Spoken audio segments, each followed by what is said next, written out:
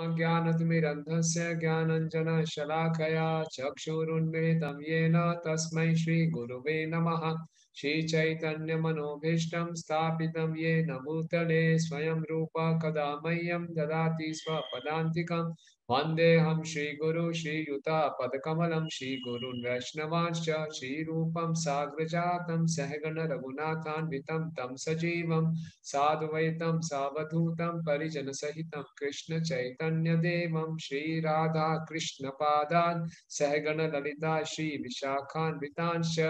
हे कृष्ण करुणा सिंधु दीन बंधु जगतपते। गोपेश, गोपिका कांत राधा कांत नमस्तुते तप्त कांचन गौरांगी राधे वृंदावनेश्वरी ऋषभानुसुते देवी, प्रणमामि हरिप्रिये, वाञ्छाकल्पतरुभ्यश्च कृपा सिंधु च, पतितानां पावनेभ्यो, वैष्णवेभ्यो नमो नमः। जय श्री कृष्ण चैतन्य प्रभु नित्यानंद। श्री अद्वैत गदाधर शिवासादि गौर भक्त वृंद हरे कृष्णा हरे कृष्णा कृष्णा कृष्णा, हरे हरे। हरे रामा हरे रामा, राम राम, हरे हरे। नमो विष्णुपादाय कृष्ण पृष्ठाय भूतले। श्रीमते भक्ति वेदांत स्वामी निति नामिने। नमस्ते सारस्वते देवे कौरवाणी प्रचारिणे, निर्विशेष शून्यवादी पाश्चात्य देश तारिणे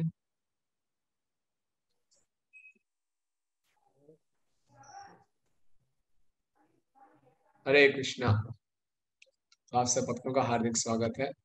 आप लोग अपना समय निकाल के हरि कथा सुनना चाहते हैं। इससे आपकी मालूम चलता है कितनी रुचि है हरि कथा में, वास्तव में शिला भक्ति स्नान से ठाकुर महाराज कहा करते थे कि हरि कथा हमारे सभी समस्याओं का समाधान।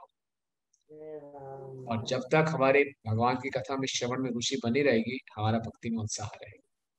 शिला प्रभुपा जी भागवतम के पहले स्कंद में वर्णन करते हैं कि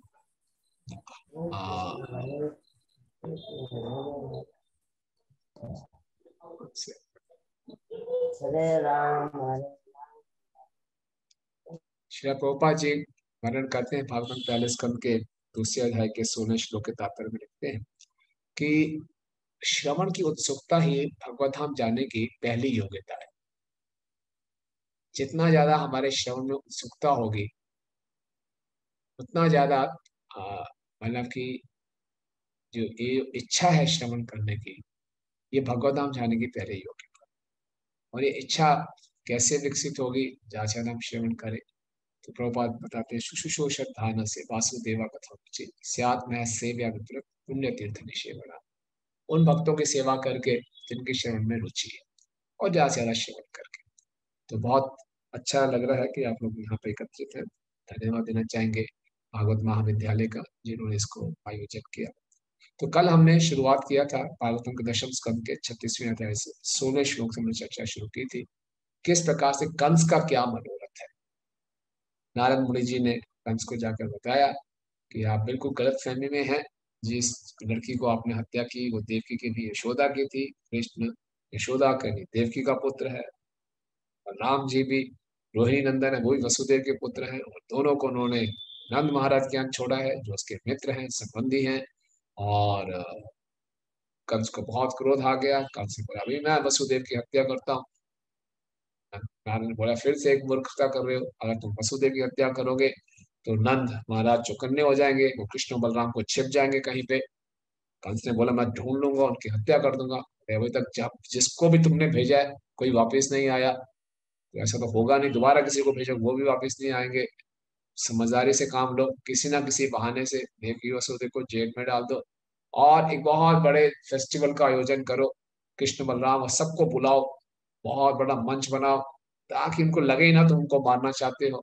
और फिर उनकी हत्या कर दो। कंस को एक क्लिक कर गया। कंस ने फिर अपने मिनिस्टर्स को बुलाया चानर मुश्किल इत्यादि को से सभा की।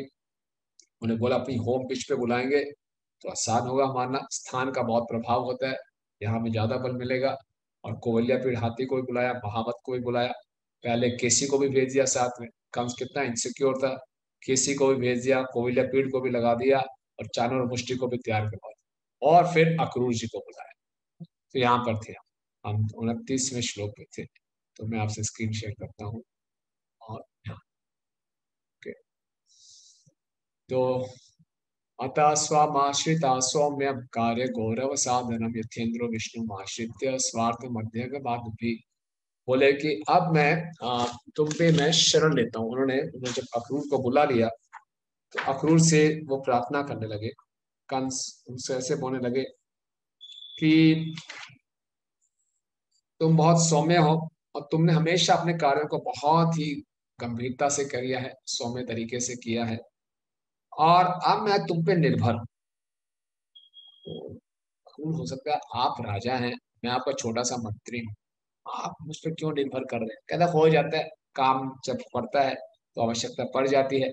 जिस प्रकार से विभु इंद्र ने, न यथेन्द्र विष्णु आश्रित्य, जहाँ इंद्र ने विष्णु की आश्रय ग्रहण की, स्वार्थम अध्यगम विभु।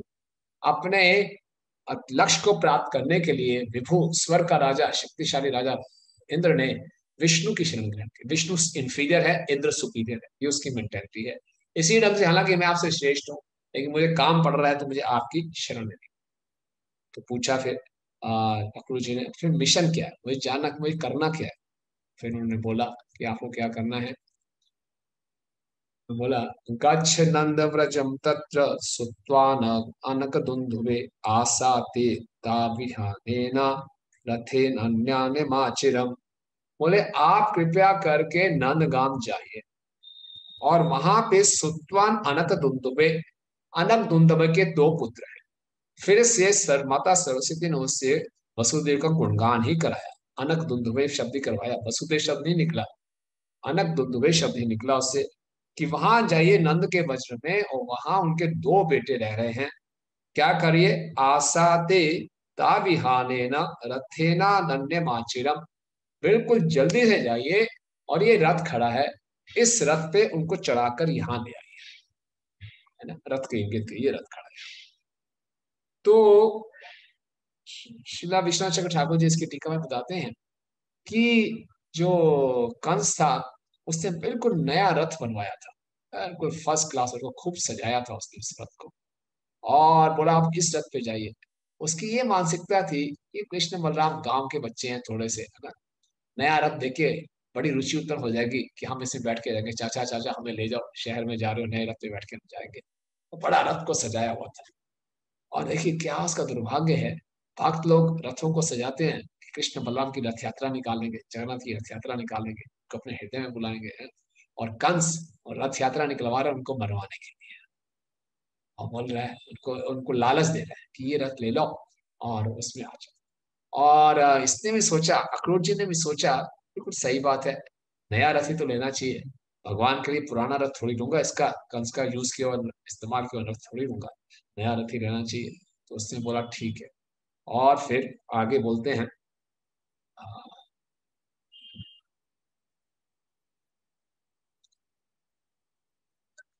निसृष्टा किल मे मृत्यु, दैव वैकुंठ संशय, तावानाय समपोपैर आनंद तावानाय समपोपै नंद आद्य सफुपाय नहीं बोले, अब क्या करो? विष्णु के संरक्षण में रहने वाले देवताओं ने इन दोनों बालकों को मेरी मृत्यु का कारण बनाया है। ये नहीं कह रहा कि जो विष्णु है मेरे को मार देंगे। अभी भी वो देवताओं को श्रेष्ठ मानता है कि देवताओं ने, देवताओं के संरक्षण में जो विष्णु है उन्होंने भेजा इन बच्चों को मेरी मृत्यु के लिए। तो उनको यहाँ पर ले आओ और उनको संशय ना हो तो नंद महाराज सारे ग्वाल बाल और सारे के सारे और भी उनको बोलो अपने दही, दूध इत्यादि सब कुछ लेकर आ जाए, उपहारों को लेकर आ जाए। ये जाके आप करो ठीक है, फिर क्या करना है? घातिश, घातिष्य हानि तो काल कल्पे न हस्तिना, यदि मुक्तो तथो मल्ले घात ये वेद्युतोपमयी। बोले, आप जब कृष्ण बलराम को यहाँ ले आएँगे तो मैं उन्हें साक्षात मृत्यु के समान बलशाली अपने हाथी से मरवा दूँगा। और यदि कदाचित कदाचित वे उससे बच भी जाते हैं तो मैं बिजली के समान प्रबल अपने पहलवानों से उसको मरवा दूँगा। आप सुनते जाइए अभी कृष्ण का मनो, कंस का मनोरथ चलता ठीक है? उसके बाद क्या कहते हैं? जब ये दोनों मार डाले जाएँगे तो मैं वसुदेव और उनके सभी शोध संतप संबंधियों, विष्णुओं, भोजों दशारों का भी वध कर दूँगा। और फिर फिर मैं अपने बूढ़े पिता, उग्रसेन च पितरम स्थविरम राज्य कामुकम, तद भ्रातरम देवकम च ये चान्य विदुषो ममम। ये जो उग्रसेन है, स्थविरम, कहीं चल फिर नहीं सकता, वृद्ध हो गया है स्थिर हो गया है, फिर भी राज्य कामुकम। राज्य के लिए बड़ा अभी भी लोभी है। देखो उसके क्या उसकी हृदय में आदर अपने पिता के लिए। बोले, उसको भी मरवा मैं अपने बूढ़े पिता उग्रसेन को भी मार डालूँगा, कि बूढ़ा हो गया, फिर भी राज के लिए इतना लालची है। उसी को नहीं, तद भातरम देव कम चा।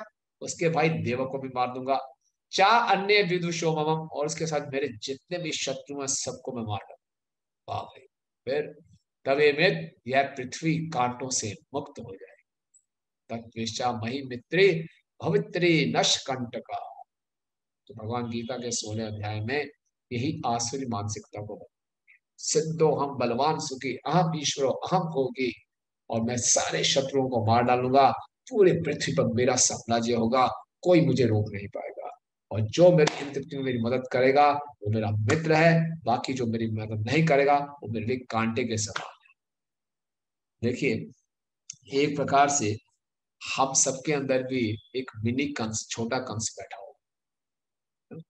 हर संसार में, हर जीव की ये इच्छा है इस संसार में सुखी रहे। उसकी ये अभिलाषा है। हम सबका यही मनोरथ है कि हम इस संसार में सुखी रहे। ये तो हम इस कौन में आए? शिला पोपा जी की शरण में आए तो हमें मालूम चला जीवन का लक्ष्य संसार में सुखी रहना नहीं, कृष्ण प्रेम प्राप्त करना है। अन्यथा साधारण तो लोग मंदिरों में इसीलिए आते हैं, सुख संपत्ति घर आवे, कष्ट मिटे तक का, सबका यही मनोरथ रहता है, भगवान से यही मांगते हैं। और अभी भी बुरा मत मानना, हम सबको मालूम है, हमारे जीवन का लक्ष्य कृष्ण प्रेम होना चाहिए, लेकिन अंदर से इच्छा यही है कि जब तक इस संसार में है, सुखी रहे। कोई समस्या ना रहे, शरीर भी स्वस्थ रहे, घर भी चलता रहे बिज़नेस में कोई दिक्कत ना आए, नौकरी में कोई दिक्कत ना आए, सब बढ़िया चलता रहे। बाबू जी इसके साथ साथ भक्ति कर लें, बस यही हम चाहते हैं। संसार में दिक्कत नहीं आनी चाहिए। तो हमारा ये हमारा सबका यही मनोरथ है। और जो हमें दिक्कत देता है, वो हमें कांटे के समान चुपता है। हमारा पड़ोसी हो, कोई हमारा द्वेषी कॉम्पिटिटर हो, हमारे कोई ऑफ़िस में हो, हमारे बिज़नेस में हो, है ना? हिंदुस्तानी मुसलमानों को कंटक समझ रहे हैं, मुसलमान हिंदुओं को कंटक समझ रहे हैं। कैसी ये मानसिकता है? हटा दो कांटों को ताकि मेरा रास्ता साफ़ हो जाए। ये सबका मनोरथ है। इस संसार में हर बात जीव जो अपने आप को कृष्ण की नकल मार रहे हैं हम सब, ये सबका मनोरथ है। ये छोटा कंस हम सब के अंदर बैठा हुआ लेकिन ये जो हम चर्चा कर रहे हैं, आगे जाके हम अक्रूर का मनोरथ पढ़ेंगे समझेंगे, कितना विशाल मनोरथ है। तो हमें अक्रूर के मनोरथ का अनुकूल करना है। कैसे कृष्ण मुझे रिसीव करेंगे, कैसे कृष्ण मुझे प्रेम करेंगे, कैसे मैं कृष्ण का दर्शन करूँगा क्या क्या होगा, वो आगे भी शुरू होने वाला है। वो मनोरथ के, उस मनोरथ को हमने करना है। लेकिन कुछ ना कुछ मात्रा में हम ही कुछ लोगों को अपने जीवन में कांटे समझते हैं।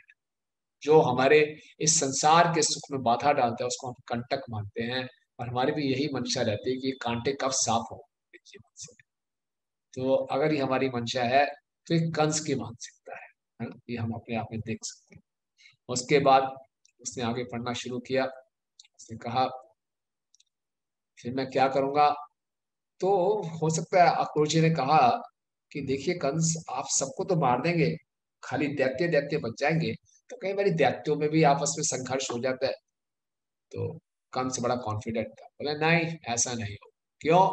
क्यों नहीं होगा? जरा संधो मम गुरु दिविदो दयता सखा। शंबरो नरको बाणो मई एव कृत सोहिदा तेरहम सुर पक्षयान हत्वा भोक्ष से महीम रिपान है ना? बोले सब मेरे दोस्त है, जो ये सबसे बड़ा जो है ना जरा असुरों का राजा, मेरा ससुर। वो असुर मेरा ससुर है, और क्या चाहिए? और जो असुर मेरा ससुर भी है, और मेरा गुरु भी है। द्विद शक्तिशाली द्विद मेरा शुभ चिंतक है। शंबा, नरक, बाण, ये सब के सब मेरे मित्र है। तो चिंता की कोई बात नहीं है। और इन सब का उपयोग मैं उन राजाओं का वध करने के लिए करूँगा, जो देवताओं के पक्षधर है। तब मैं सारी पृथ्वी पर राज करूँ। और विश्वास ठाकुर जी बता रहे हैं, वो अखरूर को भी लालच दे रहे हैं। आपको भी मैं कुछ राज्य दूँगा। आप भी आराम से रहना, मैं भी आराम से रहूँगा। आप सब काम सफाया कर देंगे। बस एक बार कृष्ण बलराम को यहाँ पर उसके बाद चूँकि आप मेरे सारे मनोभाव को जान चुके हैं तो तुरंत जाइए और कृष्ण बलराम को धनुष युग निहारने और यदुओं की राजधानी का ऐश्वर्य दिखाने के लिए ले आइए। उनको बोलिए, क्या धनुर्मुख निरीक्षार्थम दृष्टु यदुपुरम श्रिया? गाँव के बच्चे हैं, गवार लोग हैं बोले कभी कभी शहर में आना चाहिए। वैसे ही मथुरा का अपना ऐश्वर्य है और अब फेस्टिवल हो रहा है, धनुर्यज्ञ हो रहा है तो मथुरा खूब सजी होगी। आपके पास नया नया रथ है, उससे भी आकर्षित हो जाएँगे। मथुरा का भी आकर्षण लाना और ले आओ बस किसी ढंग से उनको। अब मेरे मनोरथ को तो आप जान ही चुके हैं, तुरंत जाइए। और अब आप यही हाथ में हाथ पकड़ा हुआ है, बड़ी कॉन्फिडेंशियल मीटिंग चल रही है, केवल आप ही इस कार्य को कर सकते हैं, क्योंकि आप बड़े सौम्य हैं। अभी तक मैंने सारे क्रूर तरीके अपना लिए, कृष्ण बलराम की हत्या के लिए, सारे क्रूर तरीके फेल हो गए। अब मैं एक अक्रूर तरीका अपना रहा हूँ, एक सौम्य तरीका अपना रहा हूँ, बड़े प्रेम से जाना और प्रेम से लेकर आ जाना उनको। बाकी सारा काम तमाम मैं कर दूँगा। कुबलिया पीड़ है, चानूर मुष्टिक है, कहीं ना कहीं तो फंस जाएँगे। और एक बार इनकी हत्या की, वसुदेव, उग्रसेन, देवक सबको हटा दूँगा। आपको भी राज्य दे दूँगा। आप भी सुखी रहना, मैं सुखी बहुत बढ़िया अपना मनोरथ बता दिया अब क्या बीतरी होगी अक्रूर जी की? अक्रूर जी, हमने जैसे कल चर्चा की थी एक मात्र कुछ यदुओं में से ऐसे थे जो कंस की तरफ़ रह गए। और बाकी सब लोग अखरूर जी की संशय की दृष्टि से देख रहे थे कंस का आदमी है।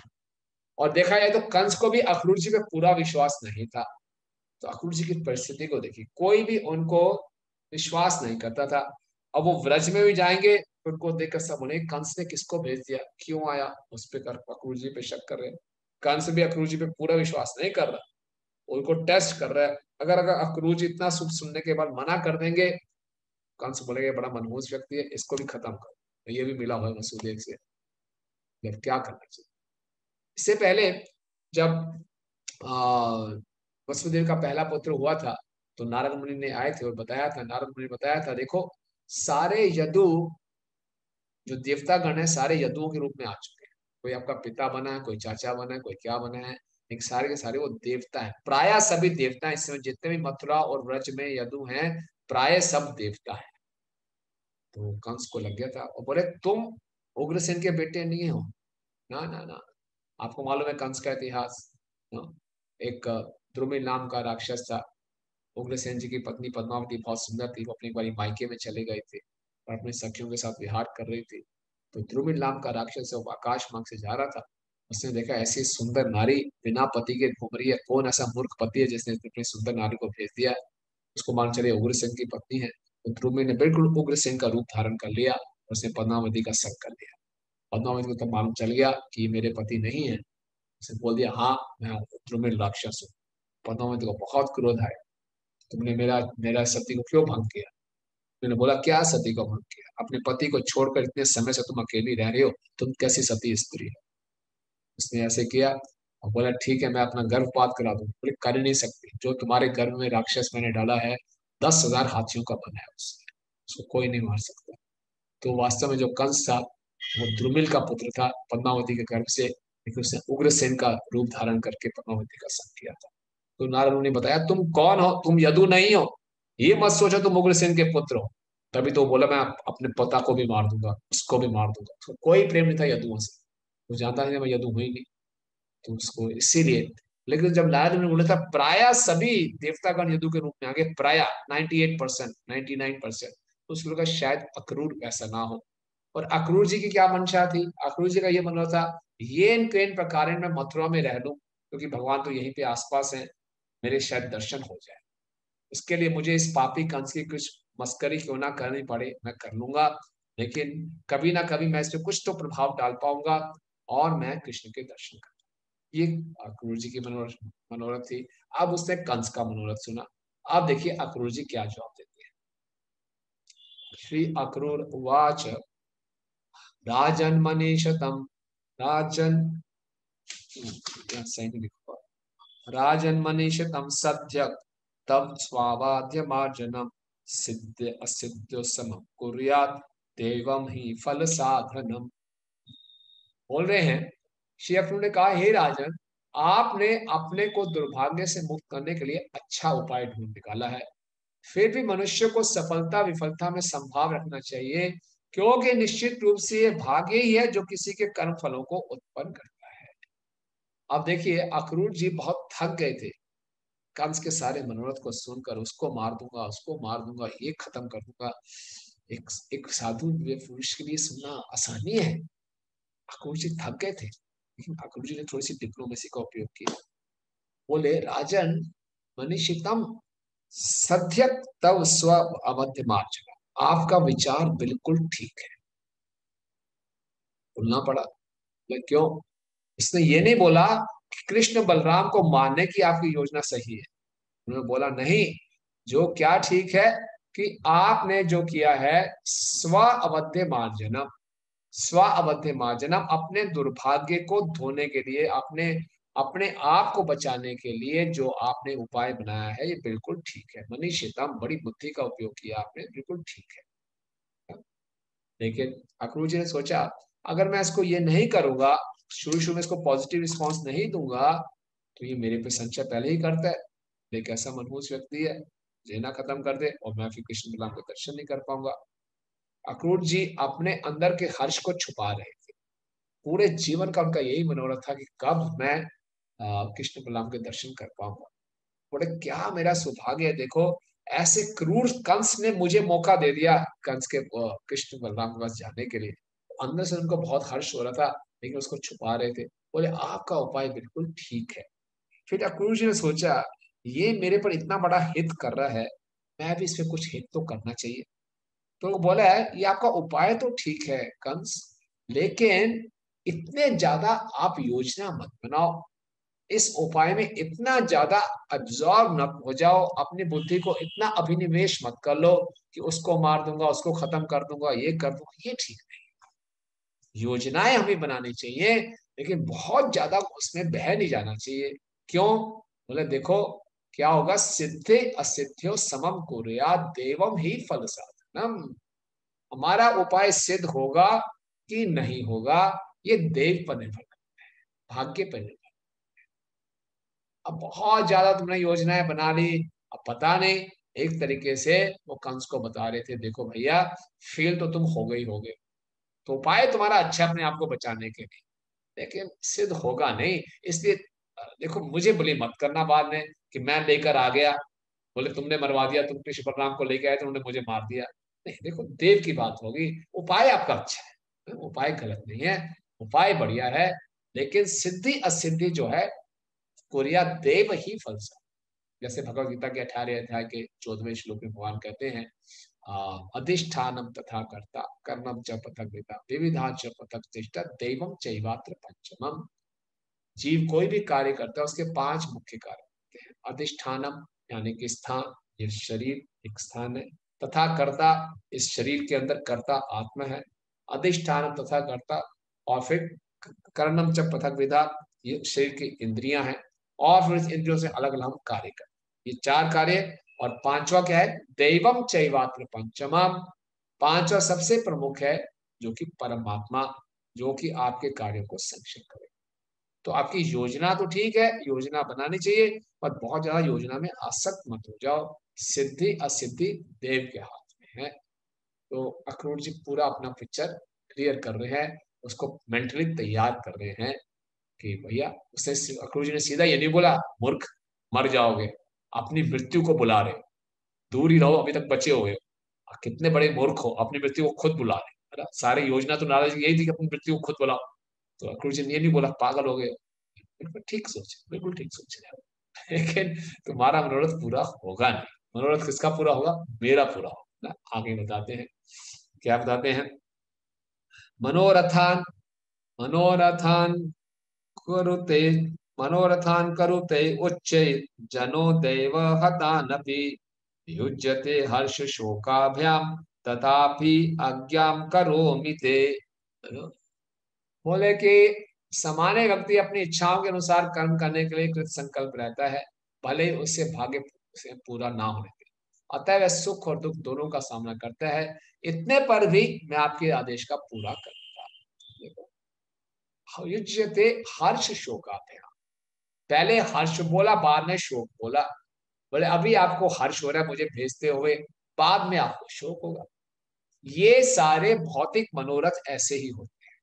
हमारे जितने मटेरियल प्लान्स होते हैं प्लानिंग स्टेज में हमें बड़ी खुशी देती आह नई गाड़ी आएगी, नया घर आएगा, इस स्त्री से विवाह होगा, ये होगा, वो होगा, नया जॉब मिलेगा, नया बिज़नेस हमारे जो सपने होते हैं भौतिक अभिलाषाएँ ये केवल अभिलाषा की स्टेज पर ही हमें सुखदायी होती है, हर्ष देती लेकिन जब वो पूरी हो जाती हैं तो शोक का कारण लेकिन जो आध्यात्मिक मनोरथ होते हैं, वो मनोरथ की अवस्था में भी और सिद्धि की अवस्था में ही आनंद देते सब अपने अनुभव से देख सकते हैं अपने जीवन में देख सकते हैं, कि अपने जितने मर्ज़ी भौतिक योजनाएँ बनाए हों, वो भौतिक योजनाएँ योजनाओं के स्तर तक बड़ी अच्छी रहती है, लेकिन जब वो पूरी हो जाती है तो उसमें कोई आनंद नहीं। तो ये बहुत सीखने वाली बात हम सबको सिखा रहे हैं अक्रूर जी, कि जो भौतिक मनोरथ है, एक अंश, ये आपको शोक ही देंगे अभी हर्ष दे रहे हैं प्लानिंग की स्टेज में हर्ष है। ऐसा हो जाएगा वैसा हो जाएगा, हम होंगे कामयाब एक दिन नहीं होगा नहीं। एक बार ऐसे एक कथा सुनाई जाती है, एक व्यक्ति रोज अपने ऑफ़िस से निकलता था गाड़ी में और उसके पड़ोसी का तो उसके पीछे भागता चेज करता था और गाड़ी निकल जाती थी रोज ये कथा होती थी, वो मैं निकलता था ऑफ़िस के लिए, पड़ोसी का कुत्ता पीछे भागता था, थोड़ी देर बाद फिर वापस आ जाता था, है ना? एक बार जिसका कुत्ता था, इसने अपने पड़ोसी से पूछा, आपको लगता है कि मेरा कुत्ता कभी आपकी गाड़ी को पकड़ लेगा? पड़ोसी ने उत्तर दिया? अगर पकड़ भी लेगा तो करेगा क्या? फ़र्क थोड़ी पड़ेगा। तो उस कुत्ते का मनोरथ पूरा हो भी गया तो क्या? इसी ढंग से हमारे संसार की जो अभिलाषाएँ होती हैं, भौतिक अभिलाषाएँ होती हैं, वो पूरी हो भी गई तो क्या? कुछ नहीं होता वो शोक ही देती लेकिन अगर हम आध्यात्मिक मनोरथ करते हैं, कि गुरांग बलित हवे, पुलक शरीर। ये जो मनोरथ करते हैं कि गुरांग का नाम लेते कब मेरा शरीर पुलकित हो जाएगा? कब मुझे नित्यान तो कृपा मिलेगी? कब मेरा हृदय शुद्ध हो जाएगा? कब मैं वृंदावन के दर्शन कर पाऊँगा? कब रूप रघुनाथ के साहित्यों में, उनके चरणों में मेरी रति उत्पन्न होगी? तो ये मनोरथ ही अपने आप में इतना आनंद देने वाला है। जब ये मनोरथ पूरे हो जाएँगे तो कितना आनंद मिलेगा? ये आध्यात्मिक और भौतिक मनोरथों में अंतर है। ये कंस के और अक्रूर के मनोरथ में अंतर है। तो फिर उन्हें बोला तथापि तब भी मैं चला जाऊँ तो बड़े अक्रूर जी ऐसे एक्टिंग कर रहे हैं, दिखा रहे हैं, देखो, मेरी तो कोई योजना नहीं थी जाने की, मेरी तो कोई इच्छा भी नहीं है। आपकी आज्ञा है, मैं तो आपका सेवक हूँ, इसलिए आपकी आज्ञा पूरी करूँगा। तो आप कह रहे हैं, तुम्हें चला जाता तो ऐसा दिखा रहे हैं, वो अपने हर्ष को छिपा रहे हैं। को मालूम है अगर मैं बहुत एक्साइटेड हो गया, ओ, कृष्ण बलराम को जान लेने जा रहा हूँ। मैं ऐसा अपना रोमांच दिखा दूँगा तो कंस को सच्चा हो जाएगा। अरे इतना खुश क्यों हो रहा है। बोले, ठीक है, आपकी आगे है तो मैं चला जाता हूँ। लेकिन सिद्धि और सिद्धि में सम रहना और हर शोक के लिए भी तैयार रहना, पूरा ग्राउंड सेट करके अक्रूर जी फिर आगे बोलते हैं। तो फिर क्या हुआ? शुक वाच, एवं आदिश चाक्रूरम मंत्रीण विसर्ज प्रविवेशम ग्रहम कंसम तथा अक्रूर स्वमालयम तो फिर अक्रूर जब सुखदेव गोस्वामी ने कहा कि अक्रूर को इस तरह आदेश देकर कंस ने अपने मंत्रियों को विदा कर दिया और स्वयं अपने घर में चला गया और अक्रूर जी अपने घर तो कंस ने ऐसा बोला होगा कि देखो, ये रथ है, इसको अभी ले जाओ। साथ में घर में ले जाओ और वहीं से निकल जाए डॉक्टर जी ने बोला, नहीं नहीं, आके ले जाऊँगा, सुबह ले जाऊँगा। बोले, नहीं नहीं नहीं, सुबह नहीं, अभी ले जाओ, ताकि लोगों को ये नहीं लगना चाहिए कि आप जो रथ है, ये मथुरा से कंस के दरबार से निकला है और संशय हो जाएगा। आप अपनी कैपेसिटी में चाहिए नया रथ है, इसको ले जाए उसके बाद जी अक्रूर जी अपने घर में लौट आते हैं। ये जो सारा का सारा विवरण है, ये एकादशी के दिन होता है। और एकादशी के दिन होता है तो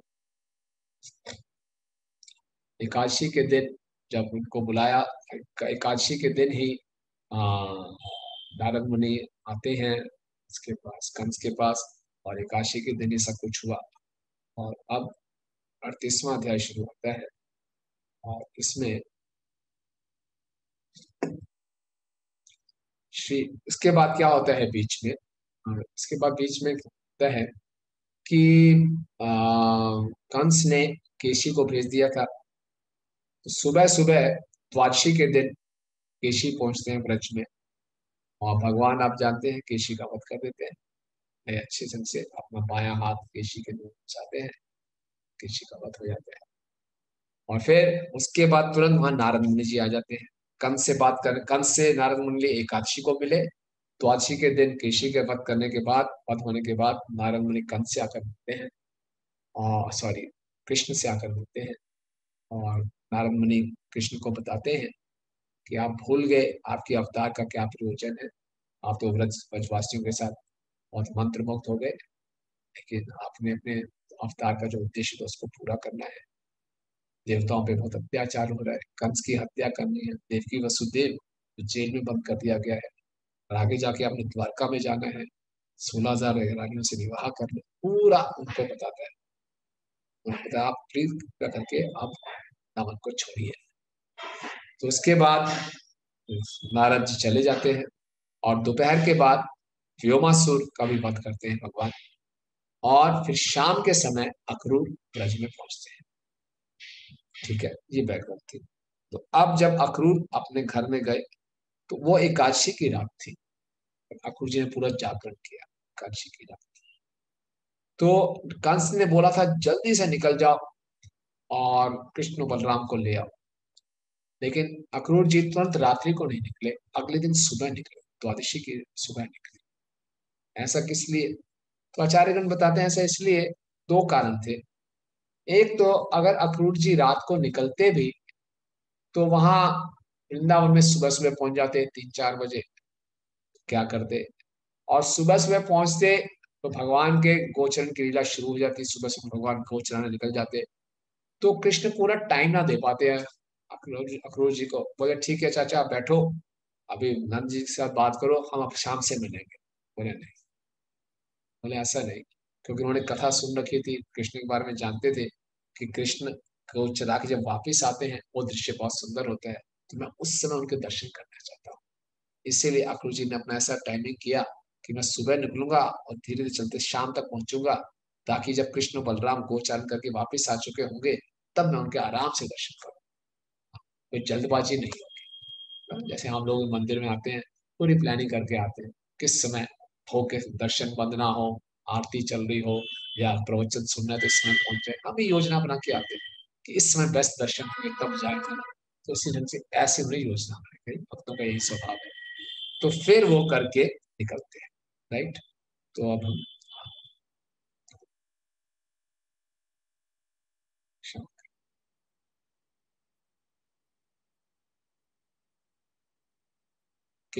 तो ये अड़तीसवां अध्याय शुरू होता है। इस अड़तीसवें अध्याय में बहुत सुंदर अक्रूर जी के मनोरथ का बहुत विस्तार में वर्णन किया गया है। और हम देखेंगे अक्रूर जी का मनोरथ कैसे उनकी इच्छा और बढ़ती जा रही है। उनका लौल्य, उनकी लालच बढ़ती जा रही है। भक्ति का एक अर्थ है कृष्ण के लिए तृष्णा। इस संसार में अगर हमें कोई चीज़ अच्छी लगती है, उसको हम करते हैं। जैसे किसी को समोसा खाना अच्छा लगता है पाँच छह सात, आठ, दस समोसे खाने के बड़े तृप्ति होगी, और नहीं खा। नहीं, अगर कोई सही ढंग से भक्ति कर रहा है तो जितना भक्ति करेगा, उसकी भक्ति करने की लालसा और बढ़ती जाती तो अक्रूर जी के मनोरथ हम ऐसे ही देखेंगे। मनोरथ उनका बढ़ता ही जाएगा, और बहुत सुंदर ढंग से, और जितना वो मनोरथ करेंगे, आध्यात्मिक मनोरथ भगवान पूरा करते हैं। और इस अध्याय के अंत में लिखेंगे कि कृष्ण और बलराम ने उनके सारे मनोरथों को पूरा किया। गोस्वामी जी बोलना शुरू कर श्री शुक उवाच अक्रूरोऽपि चान्ता, चाताम, रात्रि मधुर्पया महामति उषित्वा रथमास्ताय प्रयो नंद गोकुलम सुखदेव गोस्वामी ने कहा, महामती अक्रूर ने वह रात मथुरा में बिताई और तब अपने रथ पर सवार होकर नंद महाराज के ग्वाल ग्राम के लिए रवाना गए। जैसे मैंने बताया, रात को ही वो नहीं निकले। रात को पूरा जागरण किया और अगले दिन सुबह निकले। दो कारण भी बताया कि अगले दिन सुबह क्यों निकले? और महामती, बहुत सुंदर शब्द है, महामती। और उससे पहले है अक्रूरो अपी चा। तो इसमें ये दो शब्द है, अपी और चा, महत्वपूर्ण है। इसमें ये बताया जाता है कि अपी का मतलब जो नारद मुनि नारद मुनि भी पहले आए, उन्होंने कृष्ण को कन्विंस किया कि आप व्रत छोड़कर आइए। और चा, और अब अक्रूर भी आगे। नारद मुनि जैसे इतने महान भक्त कृष्ण को बोल रहे हैं कि आप व्रत छोड़िए। और अब अक्रूर जी भी आ गए कृष्ण को, चलिए आप व्रत छोड़िए। हालाँकि कृष्ण की इच्छा नहीं थी व्रत छोड़ने की। ब्रजवासी कृष्ण को बहुत प्रिय है। लेकिन दो महान भक्तों की मंशा थी कि आइए, अब आपको व्रत छोड़िए। तो अब कृष्ण राज़ी हो जाएँगे व्रत छोड़ने के। तो इसीलिए अक्रूर अपिचा ताम रात्रि वो थी एकादशी की रात। मधुर परयाम महामति, मथुरा नगरी में महामती, ऊँचे विचार वाले। महामती जिनका मन बहुत बड़ा है। या जिनका मन हमेशा कृष्ण में आवेशित रहता है, जो हमेशा कृष्ण के बारे में सोचते रहते हैं, उनके नाम, रूप, गुण, लीला के बारे में सोचते रहते हैं और अपनी मति को हमेशा कृष्ण में इतना निवेश रखते हैं कि वो एकादशी में पूरी रात जागरण करते रहे और द्वादशी में बिना व्रत का पारण किए निकल पड़े। देखिए हम लोग कल जैसे एकादशी का दिन है हम तो पहले ही देखते हैं एकादशी रखते हैं, भैया दिन पारण का समय कौन सा है? बड़े सावधान रहते हैं, क्योंकि व्रत का पालन सही समय पर नहीं हुआ तो फिर से उसको एकादशी रखनी पड़ती है। लेकिन अक्रूर जी, इतने भगवान में निषेवित थे, मन पूरा कृष्ण में लगा हुआ, भूल ही गए। जागरण किया हुआ, भूल ही गए कि मैंने अब व्रत का पालन करना है और सुबह सुबह निकल गए। रथम आस्थाय, रथ में बैठे। अब रथ में वो इस ढंग से बैठे कि बोले, इनको मालूम था रथ तो कृष्ण बलराम के लिए है, मेरे बैठने के लिए नहीं है। तो बिल्कुल छोटे से स्थान पे बैठे जहाँ पे सारथी बैठता है, ताकि जो रथ है वो कृष्ण बलराम के भोग के लिए रहे। ये उनके लिए है, नया रथ था एकदम। और प्रयो, प्रकष्ट रूपेण यो बड़े ही उत्साह के साथ, बड़े मनोरथ के साथ निकले। कहा, नंद गोकुलम। गोकुल कई थे, उपानंद गोकुल भी था, उपनंद जी की गाय थी। लेकिन वो जहाँ नंद की गोकुल थी, नंद की गाय थी, वहाँ के लिए वो चल पड़े। इसलिए कृष्ण बलराम को लाने के लिए तो यहाँ सुखदेव गोस्वामी जी महामती शब्द कर रहे हैं। सनातन गोस्वामी जी टीका में बताते हैं कि हालाँकि अक्रूर महामती है, फिर भी वो कृष्ण को गोकुल से बाहर ले जा रहे कितने दुख की बात तो सुखदेव गोस्वामी जी अपना शोक प्रकट कर रहे कि महामती होते हुए भी अक्रूर जी आप कृष्ण को गोकुल से बाहर ले जा रहे हो तो एक प्रकार से सुखदेव गोस्वामी अपना शोक प्रकट कर रहे हैं। इसके बाद ये बात हुई थी फागुन मास के कृष्ण पक्ष की एकादशी को, ठीक है? वो ये द्वादशी होगी उसके बाद वो चलना शुरू करते हैं। गच्छन पति महाभागो भगवते अम्बुजक्षणे भक्ति पराम उपगतम एवं चिंतयत तो अब वो मार्ग में यात्रा करते हुए महात्मा अक्रूर को कमल नेत्र भगवान के प्रति अपार भक्ति का अनुभव हुआ, अतः वो इस प्रकार से सोचने लगे। अब उनका मनोरथ शुरू होता है। तो देखिए एक एक शब्द बहुत महत्वपूर्ण है। अब यहाँ पे सुखदेव गोस्वामी जी ने पहले अक्रूर जी को महामती कहा। अब बोल रहे महाभागो, बहुत ही परम भाग्यशाली, वास्तव में भाग्यशाली है। पूरा जीवन उन्होंने कंस जैसे व्यक्ति की नौकरी की इतना कुछ सहा इस मनोरथ के साथ कि कब वो दिन आएगा जब मैं कृष्ण के दर्शन कर पाऊँगा। अब उनके ऊपर कृपा होगी। जिसके ऊपर भगवान की कृपा हो जाए, उसको महाभागी कहा जाता है। महाभाग्यशाली ब्रह्मांड प्रमित कौन भाग्यवान जीव, गुरु कृष्ण प्रसादे पाए, भक्ति बताओ बड़े महाभागी है। बहुत भाग्यशाली है। और क्या हो रहा है? जिनका भक्ति बढ़ती जा रही है, पराम भक्ति उनकी अद्वितीय भक्ति बढ़ती जा रही है। किसके प्रति? अम्बुज अक्षर है। जो अम्बुज है, अब बोलते हैं पानी को। जो पानी से उत्पन्न हुआ अम्बुज, उसको बोलते हैं कमल। जिनके आँखें कमल के समान है। भगवान परम सुंदर है, भगवान परम मधुर है, भगवान परम रसिक है।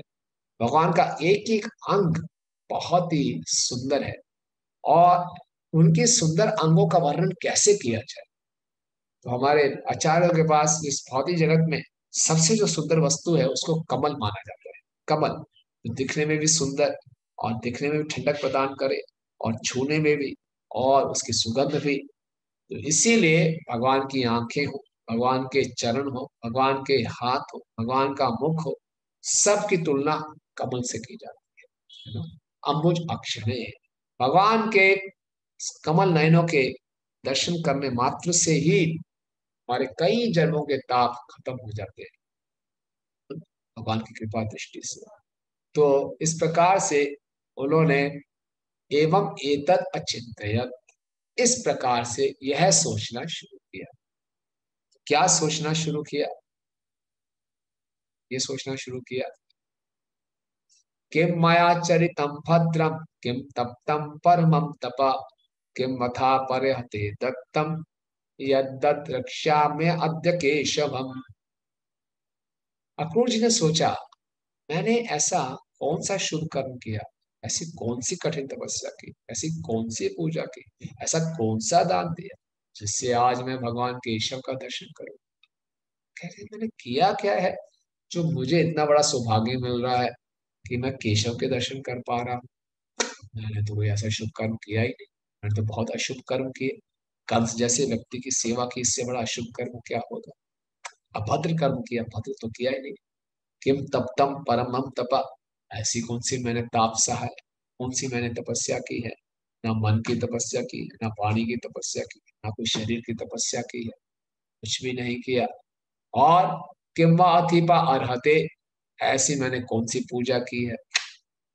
किम दत्तम, क्या मैंने दिया है? जिससे मैं केशव के दर्शन कर पा रहा हूँ। केशव केशव शब्द के बहुत अर्थ है। एक अर्थ है केशव, जिन्होंने केशी असुर का वध किया। हालाँकि अभी अक्रूर जी को पता नहीं अक्रूर जी तो रास्ते में ही है और वहाँ पे केशी का वध हो रहा होगा। केशी, केशव का एक अर्थ वो भी है, का का अर्थ है ब्रह्मा जी और ईश का अर्थ है शिव जी, जो शिव और ब्रह्मा जी के स्वामी हैं, केशव कहते हैं। और केशव शब्द का अर्थ ये भी है कि जो बालों को बहुत ढंग से, अच्छे ढंग से संवारते हैं, वो केशव कहा जाता है। तो कृष्ण के बाल बहुत सुंदर, केवल उनके सुंदर बालों को देखकर ही कोई मंत्रमुग्ध हो जाता था। देखते हैं जब कृष्ण चैतन्य महाप्रभु के रूप में आए, निमाई पंडित बहुत ही सुंदर बाल होते थे। जब निमाई पंडित ने कहा और नित्यानंद प्रभु को बताया कि मैं संन्यास लेने लगा हूँ। तो नित्यानंद प्रभु के पहला विचार यह है, अरे, इनको अपने सारे केश मनवाने पड़ेंगे। कैसे इतने सुंदर केशों को हम देखी दर्शन नहीं कर पाएँगे? बहुत दुख हुआ। और जब कटवा में के बालों को काटा जा रहा था तो जिस नाई को बुलाया गया, उससे बाल काटे नहीं जा रहे। थोड़े से बाल काटता था, फिर मूर्छित हो जाता था, फिर वो काटता था, फिर वो रोता था। तो उसने ये जो तपस्या की निमाई पर के बालों को काटा, उसके बाद उसने कार्य करना ही छोड़ दिया। कि मेरा आखिरी मैंने किसी का सर बुलवाया होगा। तो भगवान केशव जो अपने केशों को बहुत सुंदर ढंग से निहारते हैं, संवारते हैं। तो तो अक्रूर जी कर रहे हैं कि मैंने ऐसा कुछ भी नहीं किया कि मुझे केशव के दर्शन हो जाए। हाँ हो सकता है, मैंने क्योंकि अक्रूर जी बहुत दान करते थे, हो सकता है, मैंने किसी साधु को दान कर क्योंकि बिना महत कृपा के हमें कृष्ण के दर्शन नहीं हो सकते। हम सब पे भी किसी ना किसी भक्त की कृपा हुई। तभी हम भक्ति में जुड़े बिना साधुओं की कृपा के भगवान के दर्शन नहीं हो सकते। और यही हमारे जीवन का मुख्य उद्देश्य रहना चाहिए। किस प्रकार से हम अपने जीवन में महत कृपा को आकर्षित कर सके साधुओं की कृपा को आकर्षित कर सके पहले तो ये इच्छा होनी चाहिए। और फिर साधुओं को कैसे प्रसन्न किया जाए? कि सेवा करके के हृदय को प्रसन्न करके हृदय की कृपा को आकर्षित करेंगे। तभी हम केशव के दर्शन कर पाएँगे। तो यहाँ अक्रूर जी ये सोच रहे हैं? इस प्रकार से सोच रहे हैं कि ऐसा मैंने क्या किया? हम देखेंगे इनके मनोरथ में, पहले तो अक्रूर जी अपने बारे में ज़्यादा सोच रहे हैं, फिर उस धीरे धीरे केवल कृष्ण के बारे में सोचना शुरू कर तो भी अपने बारे में सोचे, ऐसे मैंने कौन सी तपस्या की? कौन सा मैंने कार्य किया, आचरण किया? क्या दिया मैंने कि मुझे केशव के दर्शन हो पा रहे तो बोल रहे हैं मम दुर्लभमन्ये उत्तम श्लोक दर्शनम। निश्यात्मनो यथा ब्रह्म कीर्तनम शुद्ध जन्मना। हालाँकि पहले श्लोक में बताया गया था कि उनको पराम भक्ति इसी पिछले श्लोक में, कि उनको पराम भक्ति प्राप्त है। श्लोक नंबर दो हाँ है ना? भक्ति पराम उपगत। तो पराम भक्ति प्राप्त है, बड़ी अतुलनीय भक्ति उनकी थी। तो जिसके पास भक्ति होती है भक्ति से उत्पन्न होता है दैन्य विनम्रता। तो उस विनम्रतावश ये बोल रहे हैं कि मम एतत् दुर्लभम मन में उत्तम श्लोक दर्शनम। विषयात्मनो, मेरे जैसे विषय भोग में लिप्त व्यक्ति के लिए उत्तम श्लोक के दर्शन बहुत दुर्लभ है। कैसे हो सकता है? मैं तो विषय भोग में लीन रहने वाला भौतिकतावादी व्यक्ति हूँ। अतः अपने लिए उत्तम श्लोकों में स्तुति होने में भगवान का दर्शन करने का अवसर प्राप्त कर पाना। मैं उसी तरह कठिन समझता हूँ, जिस तरह शुद्ध के रूप में जन्म व्यक्ति के लिए वैदिक मंत्रों का उच्चारण जिस प्रकार से जिस व्यक्ति का जन्म शुद्ध कुल में हुआ है, वो वैदिक मंत्रों का उच्चारण नहीं कर सकता। उसको कई जन्म लेने पड़ेंगे। जब वो ब्राह्मण बनेगा, तब वो वैदिक मंत्रों का उच्चारण करने योग्य होगा। इसी प्रकार से मैं तो विश्व आत्मा हूँ। मेरा मन हमेशा विश्व में लिप्त रहता है। मैं कैसे उत्तम श्लोक के दर्शन कर? भगवान का एक नाम उत्तम श्लोक है, जिनका गुणगान उत्तम उत्तम श्लोकों में किया जाए, या जिनके गुणगान से पूरे संसार से मुक्ति मिल जाए, व्यक्ति तम से परे हो जाए, उत्तम हो जाए, या जिनका गुणगान उत्तम जन करते हैं, उत्तम जन का अर्थ है ब्रह्मा जी, शिव जी, नारद इत्यादि तो ब्रह्मा जी, शिव जी, नारद इत्यादि भगवान का अच्छे अच्छे श्लोकों में गुणगान करते हैं, लेकिन दर्शन नहीं कर पाते। ब्रह्मा जी के लिए, शिव जी के लिए कृष्ण के दर्शन करना इतना आसान नहीं है। जब उत्तम श्लोकों के लिए, जो उत्तम श्लोक में भगवान का गुणगान करते हैं, उनके लिए भगवान के दर्शन दुर्लभ हैं तो मुझ जैसे विषय के लिए कैसे भगवान के दर्शन हो सकते हैं? संभव नहीं है। ये अक्रूर जी अपने विषय में सोच रहे हैं, विनम्रता बश कह रहे हैं कि मैं बिल्कुल भी योग्य नहीं हूँ कि मैं उत्तम श्लोक के दर्शन कर लेकिन अगले श्लोक में बहुत सुंदर बात बोलते हैं मैं मम अधमस्या, नैव मम अधमस्यापि स्यात् देवाच्युत दर्शनम हीयमाणम कलनद्या क्वचित तरति कश्चना। बहुत ही सुंदर। बोले, किंतु बहुत हुआ। छोड़ो इन विचारों को। आखिर मुझ जैसे पतित आत्मा को भी अच्युत भगवान को देखने का अवसर प्राप्त हो सकता है, क्योंकि काल रूपी नदी के प्रवाह में बह रहे बद आत्माओं में से कोई एक आत्मा तो कभी कभी किनारे तक पहुँच ही सकता देखिए पिछले श्लोक में उन्होंने भगवान को उत्तम श्लोक बोला। बोले, ना, मेरे कोई दर्शन के चांसेस नहीं इस श्लोक में भगवान को अच्युत दर्शन, अच्युत के दर्शन। जब उन्होंने सोचा, अब भगवान का नाम उत्तम श्लोक है बड़े बड़े जन भगवान का अच्छे अच्छे श्लोक में गुणगान करते हैं, तब भी उनको दर्शन दुर्लभ है तो मेरी क्या गति होगी? मैं तो विषय आत्मा हूँ, मैं तो अधम हूँ। अब बोले, मैं एवं अध्यस्यापी, अब छोड़ो इन बातों को, बहुत हो गया। हालाँकि मैं अधम हूँ लेकिन अच्युत जी मुझे दर्शन देंगे ही देंगे। वाह, क्योंकि वो अच्युत है। का पूरा अच्युत मतलब जो भगवान कभी अपने पद से, अपने वचन से गिरते नहीं है च्युत नहीं होते। भगवान अपने स्वभाव, भगवान का स्वभाव है कृपा करना। हम सब अपने, हमेशा अपने स्वभाव के अनुसार कार्य करते हैं। सबका अपना स्वभाव है, जितना मर्ज़ी प्रयास कर लें अपने स्वभाव के अनुसार ही चलते हैं। इस प्रकार से कृष्ण का भी स्वभाव। क्या स्वभाव है कृष्ण का? करना तो कृष्ण कृपा करेंगे, ही करेंगे। हालाँकि मैं अधम हूँ मुझमें कोई योग्यता नहीं है। नहीं क्योंकि कृष्ण अपना स्वभाव है कृपा करने का तो कृपा करेंगे और मैं दर्शन कर लूँगा। एग्ज़ाम्पल देने कैसे? रियमाण कल नद्या क्वचित तरति कश्चना। जिस प्रकार से नदी के प्रवाह में बह रहे पद आत्मा में से कोई एक आत्मा तो कभी कभी किनारे तक पहुँच ही सकता है।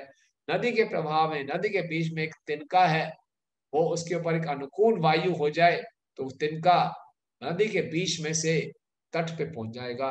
इसी प्रकार से काल की नदी में बहते हुए हम सब बद जीव अगर कृष्ण की कृपा हो जाए, कृष्ण के दर्शन कर पाएँगे।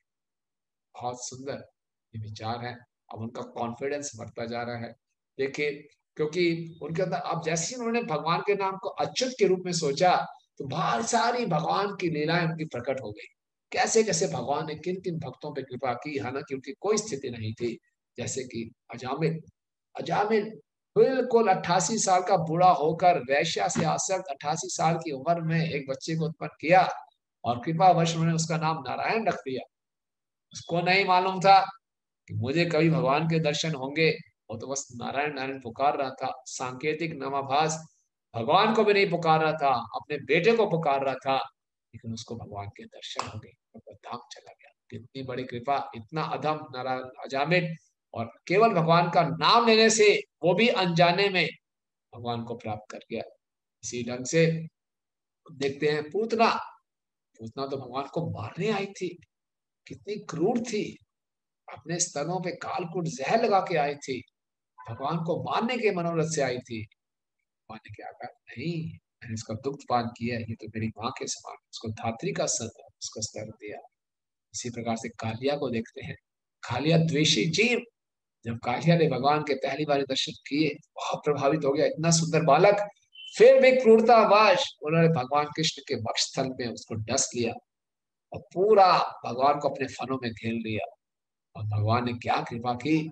जिन चरण कमलों की रज को पाने के लिए लक्ष्मी जी तपस्या कर रहे हैं, अभी तक बेलवन में। उन चरणों के ऊपर रज से, चरणों से भगवान ने पूरे कालिया के सर पे नाचे, अपनी स्टैंप लगा दी कालिया के सर के कालिया की पत्नी इतनी अच्छी भक्ति वो गुणगान करने लगे, भगवान, ये कैसे संभव है? क्या हमारे, हमारा पति तो इतना द्वेषी है, उसका सौभाग्य कैसे उजागर हो गया? तो ये देखते हैं, किसी ना किसी तरीके से कोई जीव कृष्ण के संपर्क में आता है तो उसको कृष्ण की कृपा मिल जाती है, किसी भी तरीके से। का नाम लेके, के दर्शन करके, के धाम में जाके और उनके भक्तों के संपर्क में आके केन केन प्रकार मना कृष्ण निवासी है। आप किसी भी भाव से, किसी भी तरीके से कृष्ण के आप सामने आ जाएँ, हमें कृपा मिलेगी, क्योंकि उनका स्वभाव है। कुरुक्षेत्र की युद्ध भूमि में अर्जुन कृष्ण की आज्ञा से युद्ध कर रहे हैं। तो अर्जुन कृष्ण का स्मरण करके तीर छोड़ रहे हैं। तो तीर छोड़ रहे हैं जो कौरवों के सैनिकों को तीर लग रहे हैं तो वो जो सैनिक प्राण त्यागने से पहले, क्योंकि सारथी कृष्ण है, कृष्ण के दर्शन करते हुए प्राण त्याग रहे हैं तो क्या हुआ? कृष्ण के दर्शन करते हुए प्राण त्यागे तो सारे के सारे वैकुंठ लोग को गए।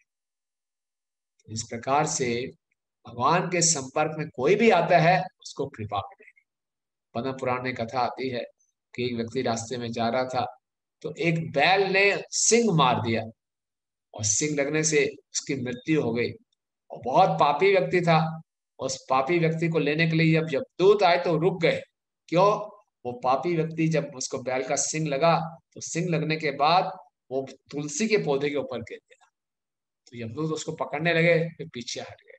तुलसी के पौधे के ऊपर गिरा हुआ इसको कैसे उठा सकते हैं? इसके ये तो सारे पाप खत्म हो गए इसके। खाली हाथ यमराज जी के पास गए। यहाँ बोली, क्या खाली हाथ क्यों आए? बोले, ऐसा ऐसा हो गया। तो वहाँ पे गरुड़ जी आए और गरुड़ जी उसको लेकर चले गए। तो ये भगवान के भगवान किसी पे भी कृपा कर सकते हैं। कश्चित क्वचित इस श्लोक में शब्द आता है। किसी पर भी, किसी भी समय अगर हम अपनी साधना पे बल देंगे, साधना को देखेंगे, अपने आप को देखेंगे, ना तो हमारी साधना में इतनी शक्ति है, ना हमारे में इतनी शक्ति है कि हम भगवान को प्राप्त करें। लेकिन अगर हम भगवान के गुणों को देखेंगे हाँ फिर चांस पूरे फिर पूरी उम्मीद है। भक्ति में इसीलिए हमेशा ऑप्टिमिस्ट रहना चाहिए, आशावान रहना चाहिए कि मुझे तो भगवान की कृपा मिलेगी। क्योंकि भगवान का स्वभाव है कृपा कर भगवान हमारी तरह मूडी व्यक्ति नहीं है। चलो आज मूड है, कृपा करेंगे, आज मूड खराब है, कृपा नहीं करेंगे। हाँ तो हमेशा ही कृपा करेंगे। हम अपनी योग्यता को देखेंगे, कोई योग्यता नहीं। साधना हम जानते हैं कैसी हमारी साधना है। पूर्व कर्म हम जानते हैं कैसे हमने किए हैं। कोई चांस नहीं। लेकिन अगर भगवान के गुणों को देखेंगे तो फिर पूरे, पूरी उम्मीद है, पूरी आशा है। भक्ति रसामत सिंधु में रूप गोस्वामी जी, जिनके अंदर भाव अंकुरित हो जाता है, उनके नौ लक्षण बताते हैं। उसमें से एक लक्षण है आशाबद्ध पूरी उम्मीद है, मुझे भगवान की कृपा मिलेगी। होपिंग अगेंस्ट ऑल होप्स में हम होंगे कामयाब एक दिन। ये जो स्लोगन है, केवल भक्ति में ही है। कोई भक्ति में आने के बाद अगर आशावादी नहीं है तो ये नास्तिकता का प्रदर्शन है। चाहे हमारी स्थिति इस समय जैसे मर्ज़ी हो, हमें पूरा उम्मीद रखनी चाहिए, पूरी आशा के साथ, तभी हमारा उत्साह बना रहेगा। तो पहले अखरूट जी बहुत हतोत्साहित हो रहे थे, मैं किस योग्य हूँ? कहा मुझे भगवान दर्शन देंगे? नहीं, भगवान तो अच्युत है। भगवान कृपा करने से कभी चूकते नहीं है। और सारी उन्होंने देखा, पूरा रिकॉर्ड है भगवान का ट्रैक रिकॉर्ड देखा, बहुत बढ़िया। तो मुझ पर भी भगवान कृपा ज़रूर करेंगे ठीक है? हरे कृष्ण।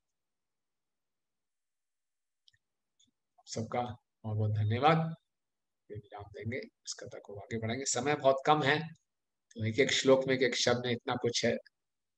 देखते हैं हम कितना कवर कर पाएँगे। ठीक है? तो आप सबका जगत गुरु श्री प्रभुपाद की जय। अनंत कोटि वैष्णव वृंद की जय। किसी का प्रश्न है, दीप्ति माता जी, आपको प्रश्न है?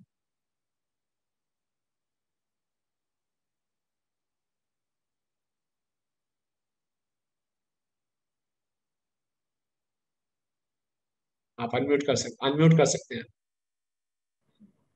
हरे कृष्णा प्रभु जी आज की कथा में बहुत आनंद आया। प्रभु जी मेरे जो स्टार्टिंग का मिस हो गया तो रिकॉर्डिंग मिल सकती है? पता नहीं आप इनसे पूछते भागवत महाविद्यालय उनके पास होगा recording Hare Krishna Mata ji will talk about the recording you can ask अभी आप अपना पूछ लीजिए हम रिकॉर्डिंग के बारे में आपको इन्फॉर्म करना जी जी जी। ठीक है। हरे कृष्णा प्रभु जी। हरे कृष्ण। हरे कृष्ण। प्रभु जी बहुत आनंद आया कथा सुन के आपसे। धन्यवाद धन्यवाद। हरे कृष्ण। ठीक है जगत गुरु शीला प्रभुपाद की जय।